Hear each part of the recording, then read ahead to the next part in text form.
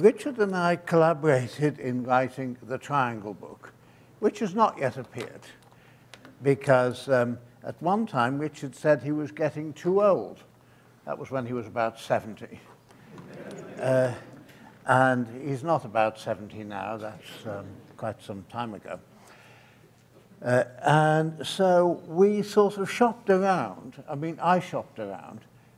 Uh, let, let me sort of say, I had the idea of writing the Triangle book uh, when I was a teenager.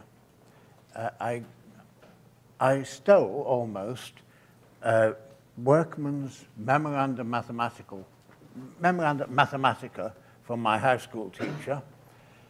And then uh, after I'd left school for a year or two, he really rather said he'd like the book back. and so I gave it back. It's a wonderful book. And in particular, it has a chapter on the geometry of triangles.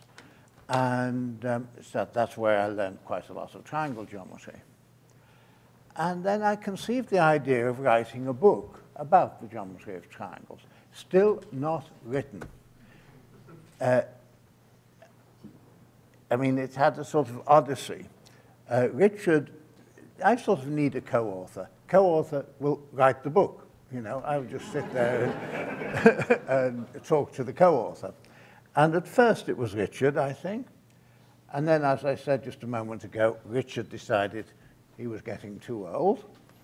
Um, I don't think he's too old even now. And it's, uh, well, may I say, you know, you're reaching your 99th birthday in a very short time? Yeah.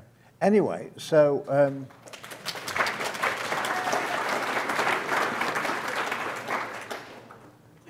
so um, we hunted around for another co-author. And at first we found Clark Kimberling.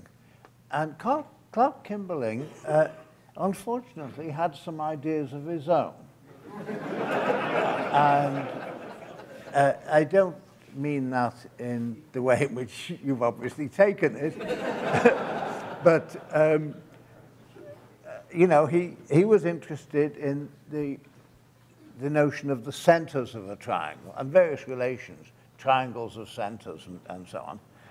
And, um, and he's written a very nice, interesting book uh, called whatever I just said, centers of triangles, which is the important thing. Uh, I was not, only, I was certainly interested in centers of triangles. There are plenty of them. Uh, you know, the orthocenter, the incenter, the circumcenter, the etc., all sorts of centers. Um, and however, I was interested in rather more. I was interested in the methods by which one proved things about triangles and so on, sort of putting conceptual apparatus behind it. And now here comes my sort of introduction to Richard Guy. Um, I want to tell you about the notion of extraversion.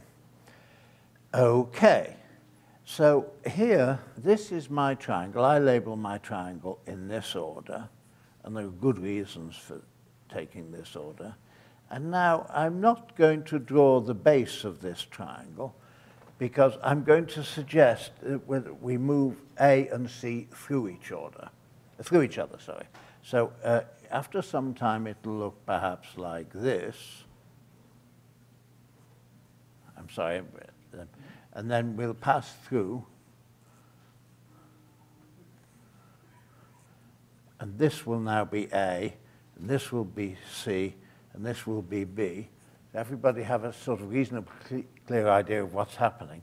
And then uh, finally, we arrive at this.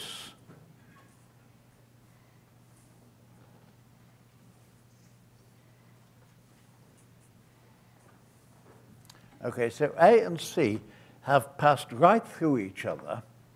And now let's work out what happens to various numbers. Here is little a, little c, and little b as it was originally.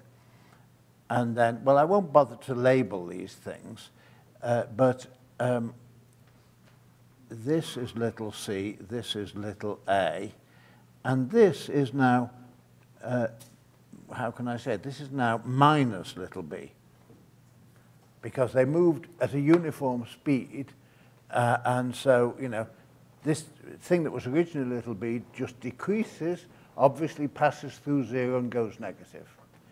Uh, let's point out that the edge lengths of a triangle are really square roots of numbers. You know, if you give, them, give me the coordinates of your triangle, you work out the edge length by taking a square root of something. And so it's only a convention that uh, we declare that you must take the positive square root.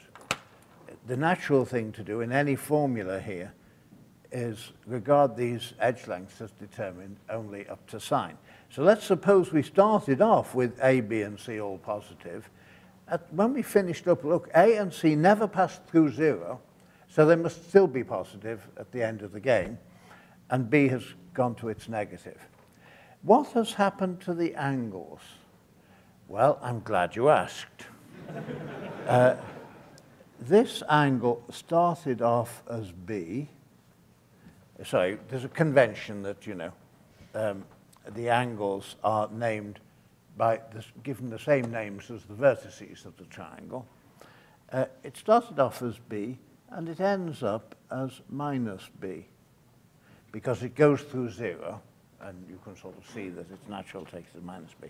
So what happens, what has happened to A, B, C, big A, big B, big C?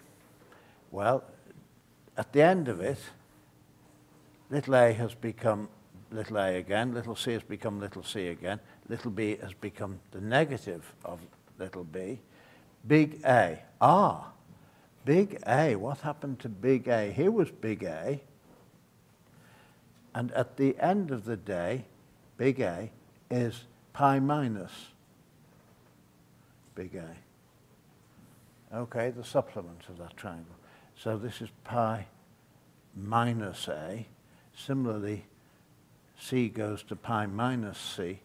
And what happens to big B? Ah, well, it goes through zero and goes negative. So that's a very useful principle. This is extraversion, my name.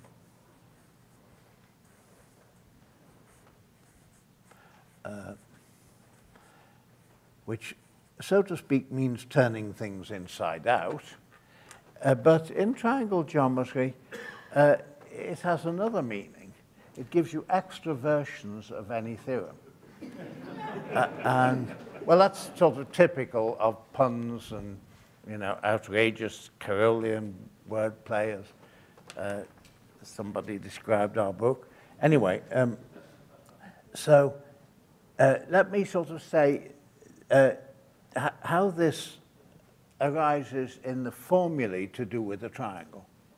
If you take any formula uh, that just involves these edge lengths and angles, then it remains true if you do this substitution, okay, which is very useful. Uh, it's a sort of principle for working. And now let's just wonder what happened uh, here's, uh, I'm just strengthening the, um, uh, just lengthening the edges of this triangle at the beginning. Oh, yes, okay, I'll do that, okay. Um, here was the incircle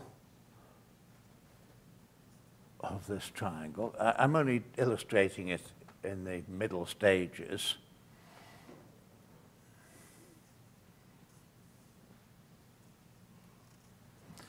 Uh, the incircle, well, let, us just write some more. The, uh, the thing that R, R naught is the uh, radius of the incircle.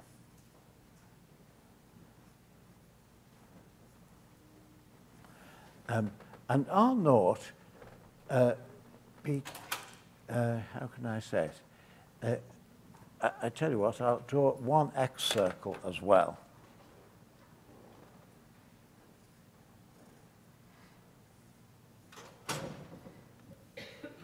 R naught becomes R sub A, which is the radius of the A excircle. Oh, oh, sorry, RB. Ah, R naught up here, uh, it becomes RB.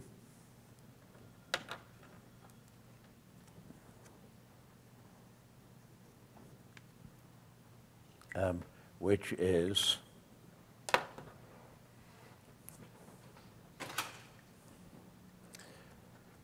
the radius of the B excircle.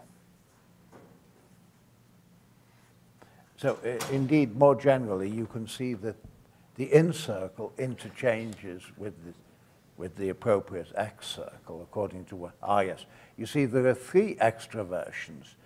This is the B extraversion. There's an A extraversion and a C extraversion, obviously. Okay. Now, uh, what's uh, a formula involving some of these concepts? Well, um, there is a thing called, usually called little s. Uh, what is little s? It's the semi-perimeter A plus B plus C over 2. And what does that do? Ah, under B extraversion. Oh, how can I, uh, here, I'll just call it extraversion. Uh, sorry, capital EX. Well, it basically goes to A minus b plus c over 2. Now, that is usually called s little s minus little b. And, um, oh, but that's a rather asymmetrical notation for it, because this object we called s is very much the same as this object, because the edge lengths are only determined up to sign. Uh, okay, so I think we should really call this S sub 0, or sub naught, or sub O, SO. And this, ah, well, we'd better call that S sub B. And then we have S naught, SA, SB, SC go to S sub B, SB goes back to S sub 0.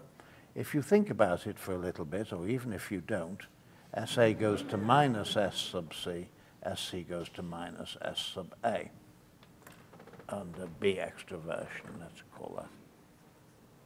Sorry, B extraversion. Never worry whether we call it little b extraversion or big B extraversion.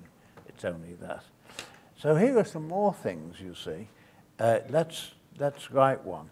The area of the triangle is R naught S naught, or ROSO, I should say. R, well, it's now uh, RB SB um, by extraversion. And so um, S, uh, so R sub B is delta over S sub B.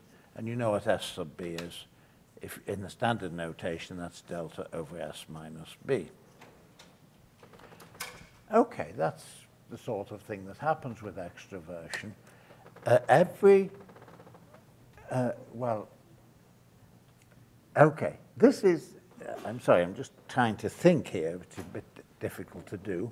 Um, many, many formulae that just involve um, halves of angles uh, go through under this sort of stuff. If they only involve halves of angles, let me try and to think, think of one that does involve halves of angles.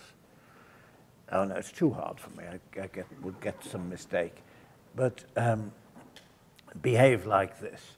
The, the theorem or the formulae one's dealing with split into four. And um, and let me sort of say uh, half of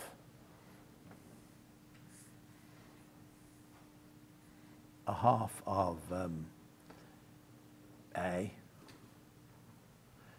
becomes a half of a plus pi, or minus pi, uh, because the angles are really only used to determine the slope of a certain line, or in fact to determine a certain line, and if you take a certain line here and turn it through an angle of pi, it becomes the same line.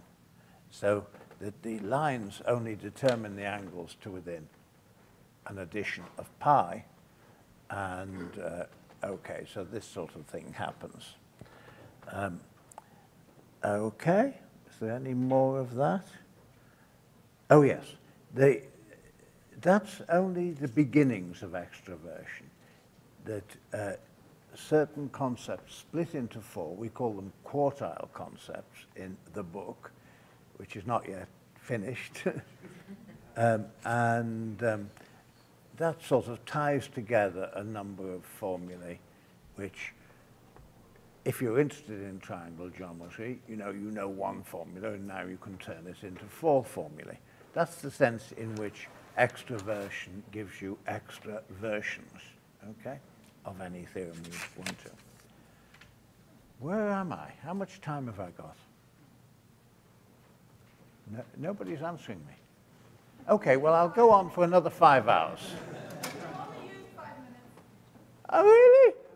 Oh, my, I've got to think of so much. Only used five minutes. Can, how can that possibly be? Well, let me tell a story. Uh, this is good advice to any of you who, who are going to be, you know, on stage at wonderful con congresses and so on. Uh, Alan Baker, who got a Fields Medal several years ago, several congresses ago, uh, was very, very nervous about his um, acceptance speech for the Fields Medal. And uh, so he came round to my hotel room, or I went round to his hotel room, while he went through, you know, a version of his acceptance speech. And um, his work was terribly complicated. He had to multiply the polynomial that some transcendental number was supposed to satisfy to get a contradiction by something or other, by a polynomial, which involved a prime number little p to determine later uh, oh, not only did it involve a prime number little p, it, it was the kth power of some polynomial, where k was a number to be determined later.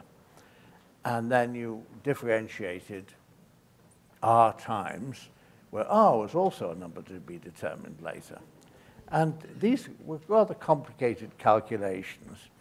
And so he slammed uh, in, a, in the hotel room that we were talking in, he slammed down these things on the table and if I had a question to ask, I asked the question and he answered it and so on. And it took about the right amount of time. And then next day, he actually gave the acceptance speech. He used the same transparencies. Only this time, he put down the transparency on the overhead projector and then whipped it off again before you had any idea what it was saying. And it you know, it was, it was saying really rather complicated things. Imagine differentiating a thing that already has the nth power of something or other in it. It's quite complicated. And I was sitting near the front and I was trying to say, slow down, slow down.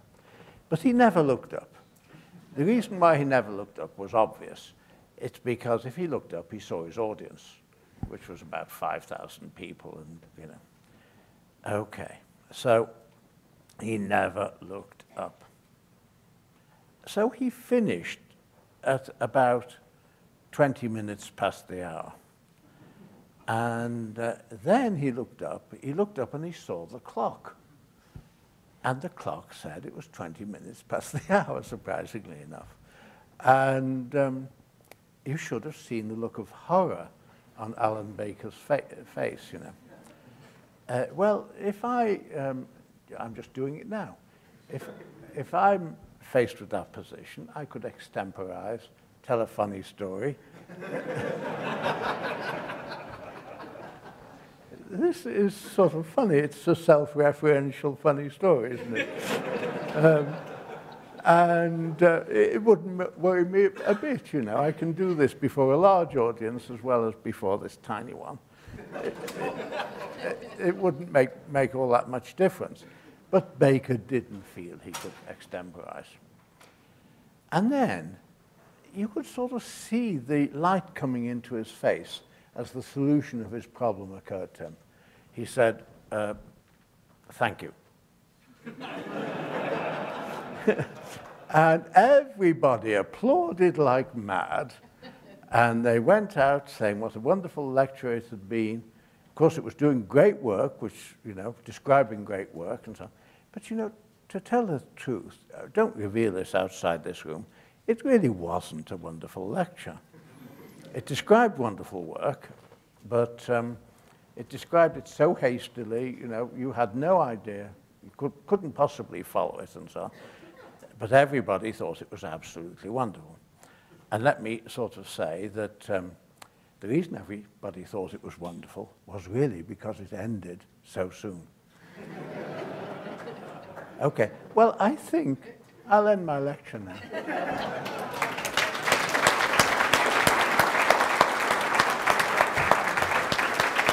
oh, yes, maybe somebody wants to ask a question. That will be. Okay, well, listen, somebody else had better ask as, as a chairperson. And also copy the question to me because I'm sure I won't be able to hear it properly. Right. So you ask a question, and I will do my best to repeat it. If I've got it right, let me know, and then we'll hear what John has to say right here. Can you display the two slides again? Uh, could you please put those two uh, diagrams you drew back up on the uh, overhead? I think that's an easy question. John, what's the answer? Do you, do you, oh, yes. Oh, sorry. wait a moment, wait a moment. Yes. yes, I could. but I suppose you really wanted me to do it too. Um, a little lower. Sorry. a little, little oh, lower? Uh, right there. That's perfect. And does, is there a follow-up question to that? I think the follow-up follow question is, could you please put the other diagram up? Oh, this diagram? Yeah. Those. Okay. Is the show through too bad for you, or is that okay? Well, it's easy to... There we go. Um, by the way, down here where, where it says capital A plus or minus pi, those two angles are really the same. Uh, I mean, well, it says a half of A plus or minus pi. This has two values, but those two values differ by pi. And then, as I said at one time, it's only, this angle is only used to determine a certain line through a certain point. In fact, uh, let me just sort of do that here is here is the angle A, B, C. Um, there is an angle bisector. Uh, if I add pi to A or subtract pi to A, I get the external bisector instead of the internal one. Okay. Other questions? I see one over here.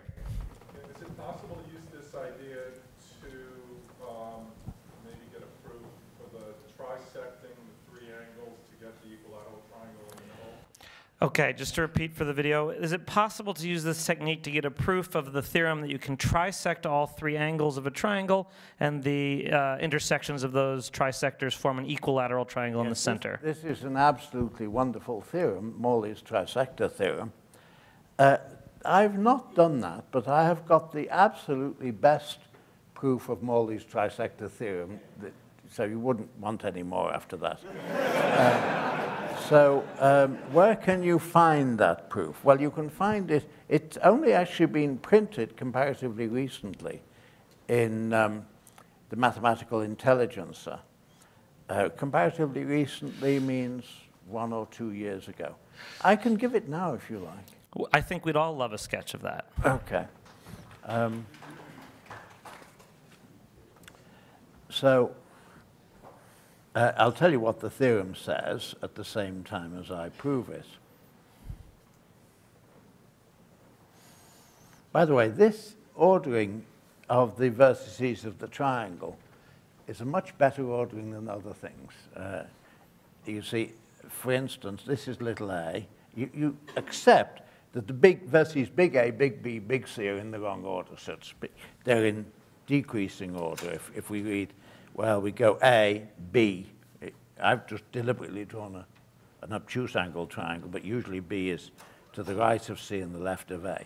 So the angles CAB are in reverse order. You accept that, and then the edge lengths, little a, little b, little c, are in the right order. Everything else is in the right order. Anyway, where are we now? So, um, okay, so let me, uh, I wonder if this will be good for me to see, yes, I can see the triangle underneath. So, um, oh, yes, uh.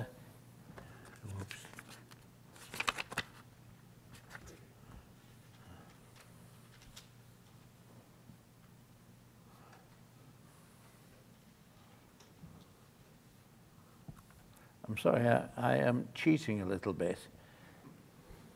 Oh, I know what I can do. I can go back to this other figure and draw the trisectors of these angles.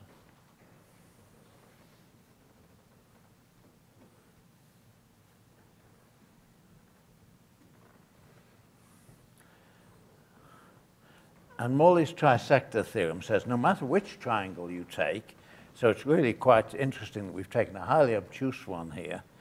Um, if you draw what's called the adjacent trisectors, you know, this, tri uh, this trisector is adjacent to this one, then the points where they meet form an equilateral triangle. A beautiful theorem uh, published in about 1903 or 4 by Frank Morley, whose brother was much more famous at the time as a novelist. Okay, so here's um, uh, here's what you do. Uh, oh, that isn't such a good figure. I've got to make it a bit more.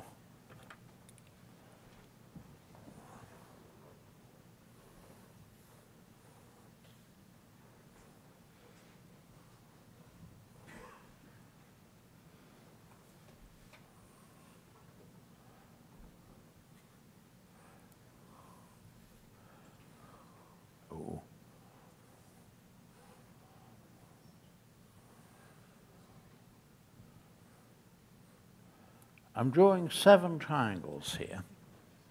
And uh, here's the A vertex, the B vertex, and the C vertex, because I'm going to squish these triangles together. And uh, here,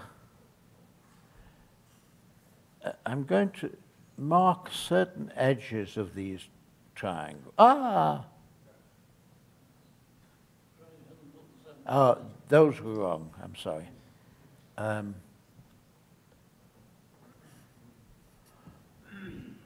okay. Oh, and then there's some up here. Okay. Now, um,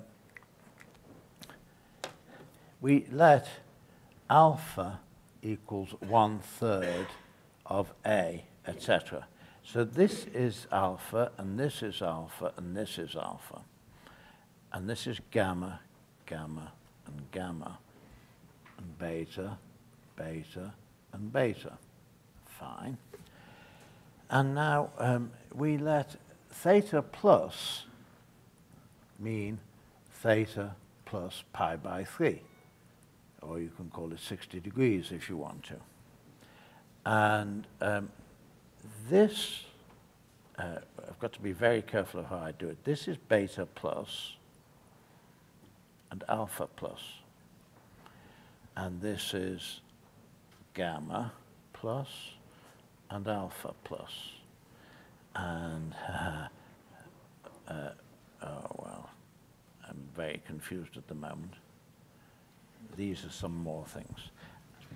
Just wanna, this is your inner triangle here, yeah? No, this is my, no, the, the, that's the, this, this, That's the equilateral. that's the equilateral one, the would-be equilateral one.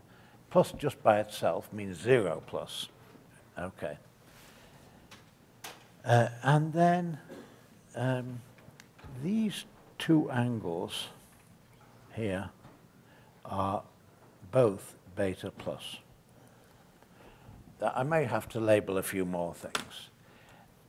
I want you to observe that uh, the sum of the angles of these triangles is always plus, plus, plus. Uh, because look, here it is alpha plus, plus beta, plus gamma plus. Well, that's alpha plus beta plus gamma, plus plus. But alpha plus beta plus gamma is plus. So, okay, you see that this is a triangle which can be made because its angles add up to plus, plus, plus. and, uh, okay, this is a triangle. Uh, oh, yes, perhaps I should say this angle across here is beta plus plus. Um, just by thing. So one can make each of these triangles, okay? And those triangles are specified up to similarity. Well, now, I make my equilateral triangle have any edge length I like, and then the other triangles, I specify them by whichever, by saying that the red lines I've drawn all have the same length. Okay. So um, now I want you to look, oh, oh by the way, these, uh, I drop what I call non-perpendiculars from this vertex to the, to the far side of that triangle. And non-perpendiculars, well, instead of making right angles with uh, the side that they go to, they both make the same angle, which is not necessarily a right angle. It's beta plus in this case. So, okay, you appreciate that all these seven triangles can be made. But now I want you to observe that this triangle here, which I'm putting a big blodge in the middle, oh no, I think I'll go over two of its edges in black. Oh, oh, I know what I'll do. Where is it? Ah, I'll go over one of its edges in very black.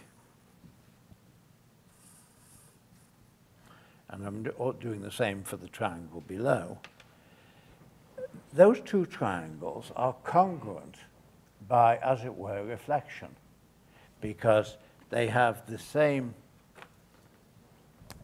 red edge here, I mean, this- and this red edge, um, and they have the same angles, so they're similar and, you know, because they've got the same red edge, they're therefore congruent. So these two triangles will fit together if I push them together, okay? And you can check that the angles all the way around here add up to, well, 360 degrees, uh, 2 pi. Okay, so you can squeeze the triangle and make it look like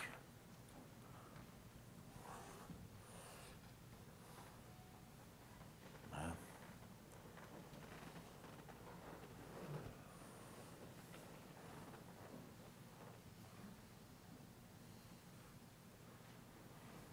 well, you surely don't need me to do all this. You've just about got the idea. Uh, and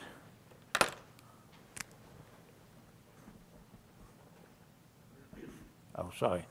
I haven't squeezed it totally together yet, but you, do you understand me? Uh, the whole thing fits together and makes an angle of 3 alpha here, 3 beta here, and 3 gamma here. A proof I'm really very proud of. We said, uh, uh, this proof emerged after a whole lot of conversations with Peter Doyle, um, and uh, I got it. Peter Doyle had a rather worse proof, a distinctly worse proof. And I took his worst proof and tidied it up and made this proof. So uh, I got this, so to speak, out of Doyle's rather worse proof. Uh, okay, deliberately used uh, language uh, reminiscent of the language used in horse racing and so on. This proof is by Conway out of Doyle. Uh, I've never dared to say that in print, but I think I can say this in, in this fairly small audience. It's recently been published in the Mathematical Intelligencer for the first time. I mean, been printed. Um, okay. Surely, surely that must have taken up some time. Um, well, uh, if you're willing to Oh, yeah, spend more another 10 Yeah, minutes of yeah, questions, we have the time for it. So, okay. okay, very good. Uh, any anything else while you've got uh, John Conway on the spot? Oh, come on, I can't have silenced you all. Oh yes, right here in the center. What is the group generated by your three extraversions? Okay, so the question is, what is the group generated by the three extraversions? Um, it's really, uh, if you, if you, um, if you represent, you know, one configuration to do with a triangle by a blodge here, then, uh, and this is A extraversion, and this is B extraversion, and this, uh, this up here is C extraversion, then uh, this goes A, B, A, B, A, B, and then this goes C, B, C, B, etc., C, B. Uh, then um, you get this tiling of hexagons. And uh, so it's generated by the relations a squared equals b squared equals c squared equals 1, and ab cubed equals bc cubed equals ca cubed equals 1, which makes it, um, in my notation, uh, the group, um, well, wait a minute, I forgot to get this right. Uh, of the A's, B's, and C's are reflections, and therefore they should appear in red. And it's star 333. That's, um, that's one of the two groups that uh, are perennially confused in the literature.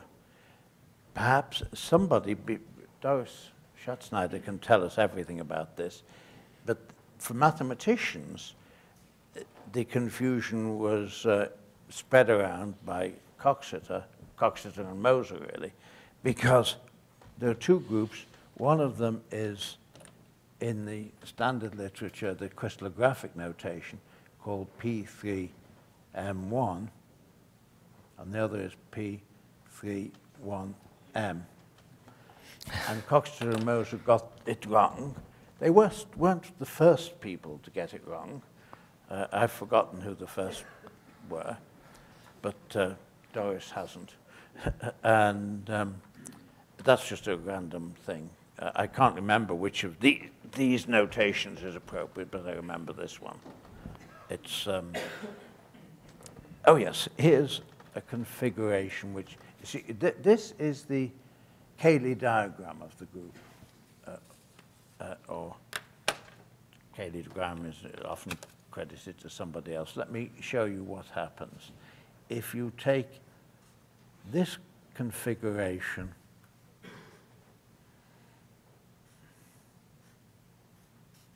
Uh, Sorry, oh, I didn't do that at all well.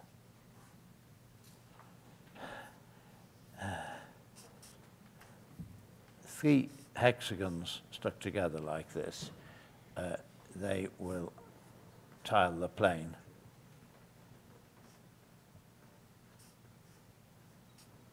Like this. Um, and it's the symmetry group of this tiling of the plane. It's a little bit of an accident that this thing, which is about triangles, which are planar objects, has a symmetry group, which is the symmetry group of a tiling of the plane, you know. Um, what else?